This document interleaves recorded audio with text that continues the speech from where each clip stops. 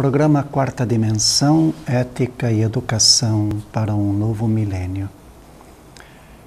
Sobre o desenvolvimento de virtudes, sobre a necessidade de domínio da nossa própria violência, sobre a necessidade de apararmos as arestas da nossa violência Nunca foi tão necessário abdicar da violência para que possamos encontrar um nível de paz consciente. Refiro-me não ao nível de paz que a sociedade propicia, que é uma estabilidade temporária e transitória. Refiro-me a erradicar a violência de dentro de nós mesmos, porque é onde ela cresce é onde ela tem suas raízes e a violência acaba extrapolando nossa própria individualidade, chegando até o plano físico e transtornando a sociedade. Tudo que nós vemos na sociedade é reflexo do nosso íntimo. Tudo de bom que nós vemos na sociedade é reflexo dos nossos pensamentos. Tudo o que nós vemos de destratável na sociedade é reflexo da nossa escuridão interior. Pessoas dotadas de felicidade e amor são aquelas que não chegam a perder sua relação com a terra, com o sol, a lua, o vento, a alegria, o prazer de viver. A relação com os animais, que se apresenta sempre como uma coisa muito amorosa, muito profunda e sensível, revela uma ligação que nós temos que deve permanecer para sempre. Porque, embora os chamemos de é, animais e seres inferiores, eles têm muito a nos ensinar. Mas a paz interior é uma via de acesso, é um caminho que eu tenho me referido sempre aqui como um jardim cósmico.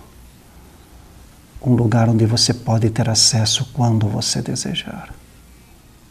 E se você olhar para dentro, você verá essa via de acesso. Um caminho que te leva de encontro ao próprio coração. Essa claridade, esse caminho é único porque ele te conduz a uma clareza de mente e paz no coração que você não pode adquirir no mundo material. Essa via de acesso ao teu coração, você pode trilhá-la quando você quiser, agora, neste momento. Havia um aluno que me perguntava sempre, professor, como nós podemos recitar assim um mantra é, contra a violência? Eu sempre citava as palavras de Mahatma Gandhi, que dizia: a não violência é o primeiro artigo da minha fé e o último artigo do meu credo. E que isso possa servir para todos nós.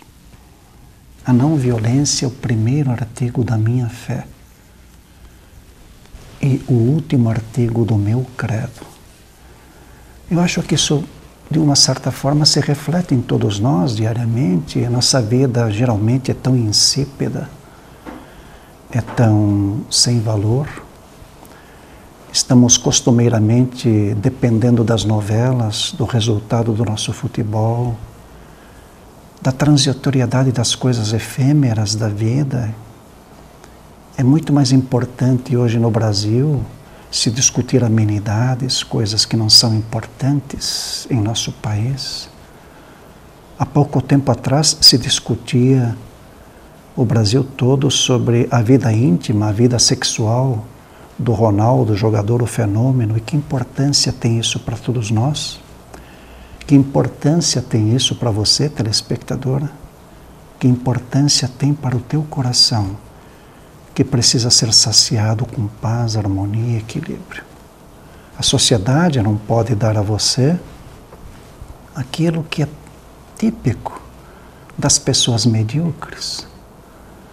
E só existirão líderes medíocres porque há pessoas medíocres que os colocam no poder. Então todos nós vivemos algum tipo interno de mediocridade.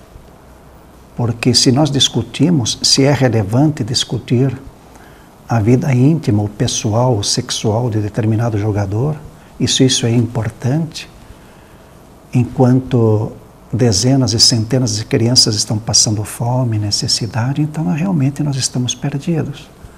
Porque há alguma coisa errada, profundamente equivocada na nossa forma de pensar.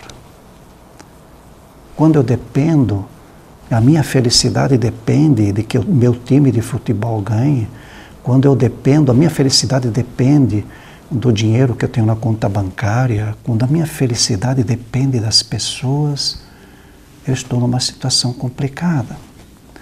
Porque é uma, é uma felicidade dependitiva, ela não traz nenhum tipo de substrato para o meu próprio ser. Eu sempre digo às pessoas, e dizia sempre aos meus alunos, nos cursos de biocibernética aplicada, que nós deveríamos desenvolver algum tipo de consciência que fosse unitária da vida. E que, em primeira instância, dessemos aos nossos filhos, às pessoas que nos cercam, um significado pelo viver. Se você que é pai nunca conversou com o teu filho a respeito do significado do viver, talvez seja importante fazer isso agora, antes que eles aprendam de uma forma equivocada na rua.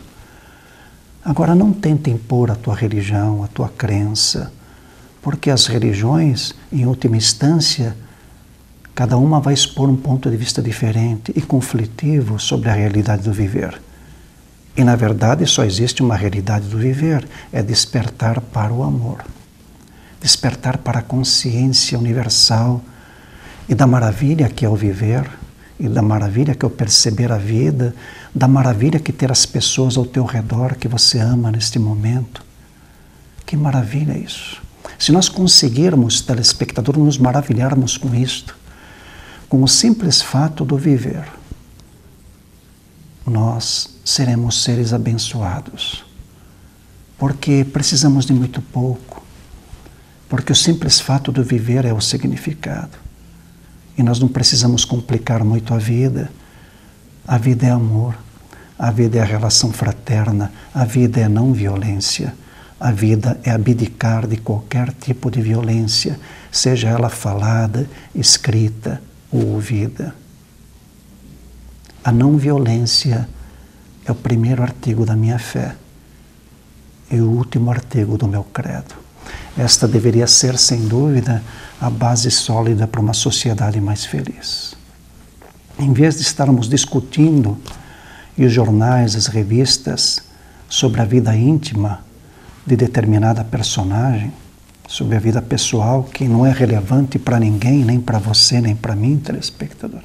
Mas quando se discutir coisas relevantes realmente, como a educação, é, meios de sobrevivência digna, respeito universal aos seres, aí realmente nós estaremos numa sociedade mais competente, mais justa. Isso é possível, nós podemos chegar lá. Depende de você, telespectador. Depende de mim. Não depende dos governantes, não depende dos religiosos, depende única e exclusivamente de mim e de você. O que você faz com a tua vida? Eu espero que o programa de hoje possa te ser útil, possa ampliar o teu grau de consciência, possa ajudar-te a elevar o padrão de percebimento do amor.